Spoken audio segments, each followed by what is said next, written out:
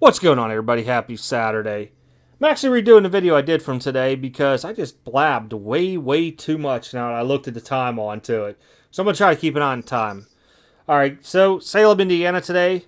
Um, really good, nice show. Uh, dealers, except for one, was really, really friendly. Overall atmosphere, really, really good. I was told now last two times I was a buyer, so I wasn't there for the full show type deal on both of them. Uh, they told me they had better crowds in and stuff like that, but I think it's due to one, two, three other shows and within the vicinity of being people being able to go to, plus still being that Memorial Day week where people were on vacation. But I gotta give it to the guy that sets this up. It, it's really a good atmosphere and the way that he does it all really good. I mean he brought in I, I, don't know it was some kind of pastry for breakfast for people. He does pizzas for lunches for everybody there. I mean it's, it's just outstanding to be able to do something like that and be able to take care of everybody. Really really nice. Um, this is the third show out of five weeks two left. I don't know if I would be able to go more than five weeks straight because I'll tell you, it's, it's energy draining. It really is. I don't know if I said this in the video or not already, but um, I didn't do any sales today. I was set up, but I, it was no issue because I was going in regardless. So I figured I'd set up. People wanted to buy, they can. So we're gonna go over what I bought, and then we'll hit some of the trends up there and everything. I'll talk about the one dealer real quick on to here that uh, we'll just say he falls into a different ballpark. All right, so Three cards all came from the same guy. I was going to have more video on this too, but when I walked around in the morning, dealers were still setting up. There were a couple cards I wanted to show people. When I went back around lunchtime, those couple cards sold. I was kind of upset because I was like, man, I wanted to buy one of them. So, uh, towards the end of the show, I was like, I'm going to try one last run in here and see if I can find a couple things to buy, you know, because I, I like to support the shows. You guys all know I go to shows, I try to spend you know, a little bit of money here and there, sometimes more than others, you know. But I like to try to circulate some money around stuff like that. So I picked up three cards. Um, the first card was more of like a toss in to make the deal whole type deal, which was really cool, the guy. So first up, Reggie Jackson, Diamond Icons 2020, 14 out of 25. Really cool card. I like Reggie's autos, always have. I, I could see he's getting older too, because if you start looking at some of the older stuff, it was a little bit more neater. So this will probably go off.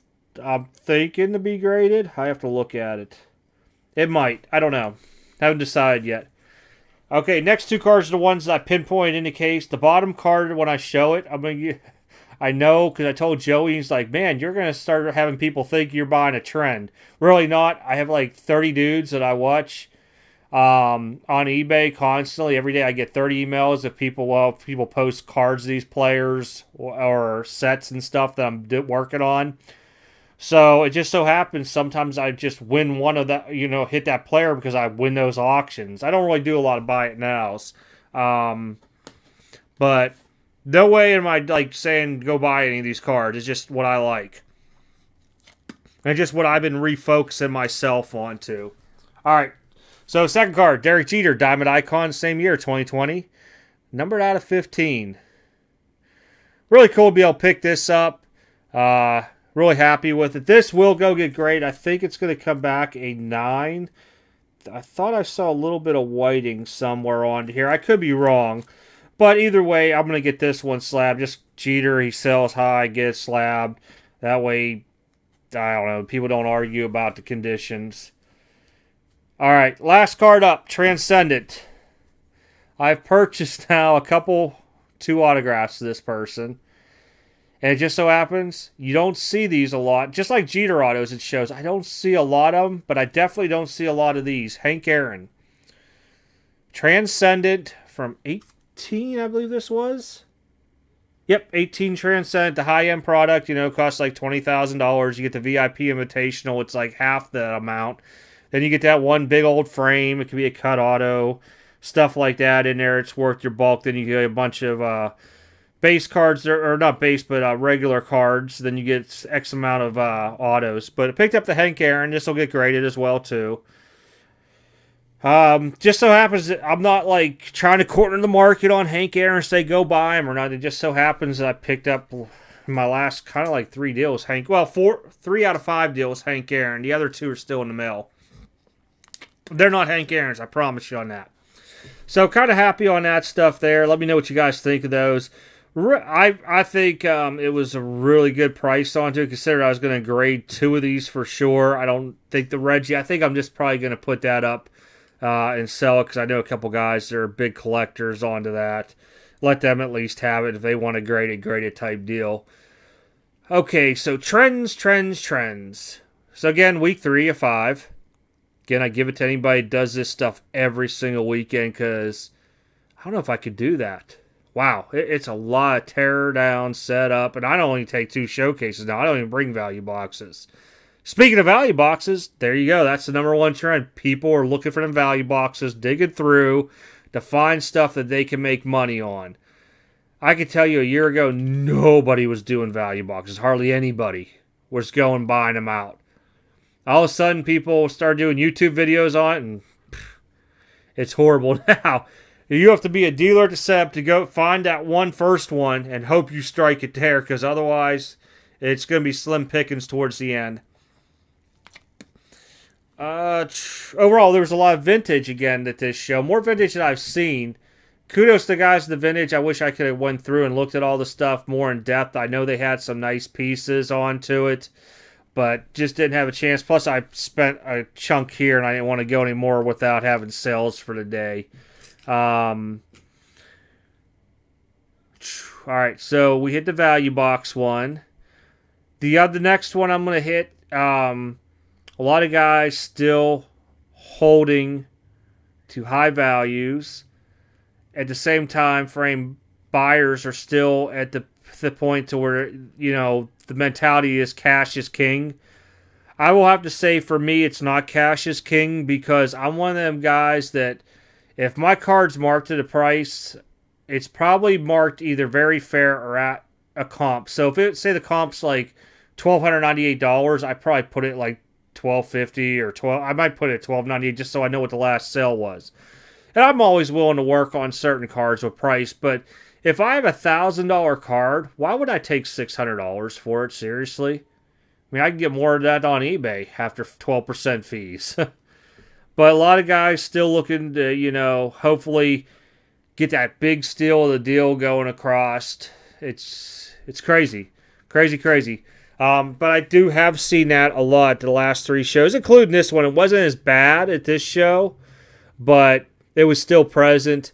I had a dealer come up try to argue, or I shouldn't say argue, but use the um, used car salesman pitches by telling me that all this and that, I could buy this on eBay for that. My mentality was go buy it on eBay.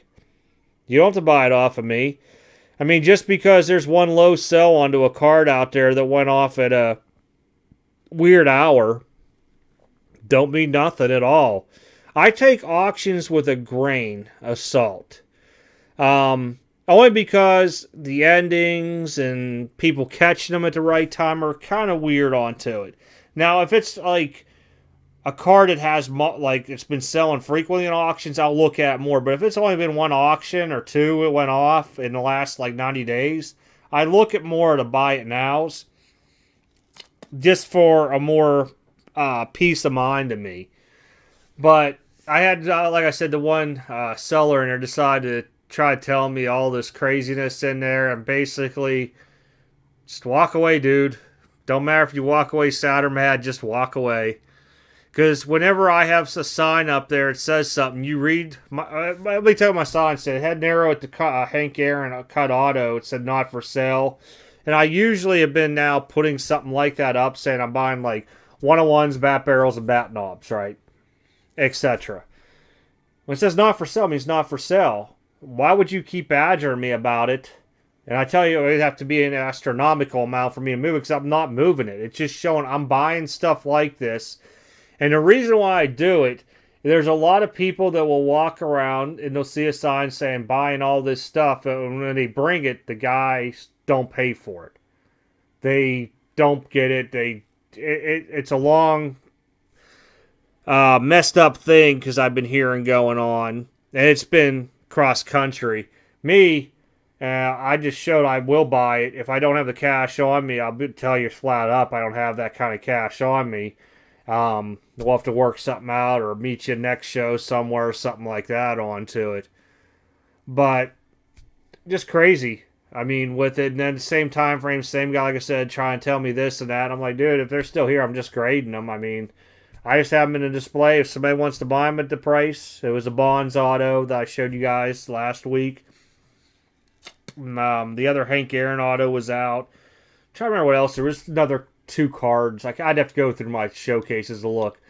I can just tell the guy's whole mentality was like he wanted to grab it, make a quick flip, and get you know type card because when I bought this Hank Aaron off this gentleman, I asked him if he had any weird lowball offers. He's like, yeah, and he pointed the guy right out.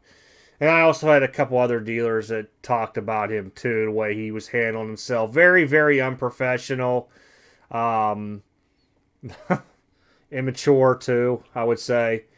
But those guys, they're far and few in between. I just brush them off. I don't give them a whole lot of satisfaction. I just go buy it on eBay or wherever you saw it at. I mean, I know how often Bonds autos pop up on auctions, so the guy can't get over on me because I get an email every day if a new Bonds auto pops up, just something I'm going after. Again, don't go after Bonds autos. That's just something I one of my guys on the list that I just keep an eye on. If something is around a price where I think I would buy it, I pick it up type deal. Uh all right, so that's that. I'm through uh, retail. I don't know if I touched retail now because I, like I said, done this video twice. A lot of different retail cards still out there. I see in a lot of the stuff dipping in price. A lot of dealers are fluctuating on that dip price, which is good, but a lot of it out there, a lot. Uh, I, uh, those are really the biggest three I saw on trends. Other than that, I had three different people come to my table uh, the Chicago White Sox, um, what's that guy's name? Tim Anderson. Had three different people ask me if I had any Tim Andersons. That's is one of the strangest things I've ever had people ask for. Am I missing some on Tim Anderson? And if I am, please put in the comments down there. I mean, because I'd like to know if there's some kind of secret like thing going on with Tim Anderson out there. I need to look at maybe pick a couple things up or something. I have no idea. Um. But overall, like I said, very, very friendly atmosphere in here. I liked it. It reminded me of the Derby City card show where it's usually very, well, I should say it's smooth, fluent. You know, you're always going to get guys that want stuff at pennies on a dollar, just, you know, brush them away as nice as you can type deal and move on type deal as well. I had another thought too. I'm trying to make sure I covered everything because I had it in the first video, but it was about 10 minutes longer than this, maybe 15. But that's really about everything out there from today. I, I had fun there. I got to enjoy a lot of conversations with people, uh, talked with other dealers out there today. Uh, same exact thing that I've been seeing, they've been seeing at other shows they've been at. So it's just more of I don't want to say learning curve, but I'm trying to see how what I'm seeing on the almighty YouTube transpires to other shows as well too. Just to see, you know, there's rumors some people out there do these uh, do YouTube videos or faking them. I don't know. I mean, I've sold some big stuff here at shows here recently, so I, I don't know onto that part there. But I'm just more cur- trying to see other trends and what people are looking for, stuff like that, that everybody else is talking about. You know, I'm just trying to see who's out there pumping and dumping. Pumping and dumping, guys. Pumping and dumping. I'm to get a t shirt made up. Pumping and dumping. But all right, guys. Have a good one. Appreciate y'all watching the video. Again, let me know if you guys know something about Tim Anderson I'm missing and what you guys think. Three cards today. Only three, I know. But they were nice. They were nice for me. All right, take care. Have a good rest of the week. Catch y'all next video.